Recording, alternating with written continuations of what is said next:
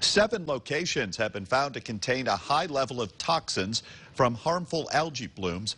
Erie County Health Department now advising pet owners against allowing their pets in, in contaminated waters around Erie.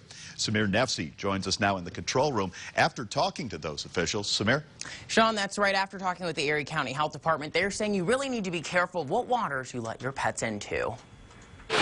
The Department of Health is advising pet owners against allowing their pets into the waters of seven locations after test samples revealed a frightening level of toxins in the water. Those toxin levels have just been higher um, than we would like them to be for dogs to be in the water. Adams adding if dogs drink the water in any form, it can cause them to throw up and become ill. One furry four-legged friend that this is going to have an impact on is this guy, Buddy. Uh, yeah, he does. He loves to swim. Jackson says he tends to take Buddy to Presque Isle on a weekly basis. He definitely likes to go towards the water, so I'll definitely try to keep him away since it sounds like it's not too crazy safe right now. Now, Adam says if you have to guess if something is a harmful algae bloom, the best bet is just to keep your pet out of the water. The seven locations found to have high levels are Presque Isles Vista 3, Sturgeon Bay, Marina, Horseshoe Pond, Perry Monument, Erie Yacht Club, Granville Reservoir. Any of those advisories would be in place for one week.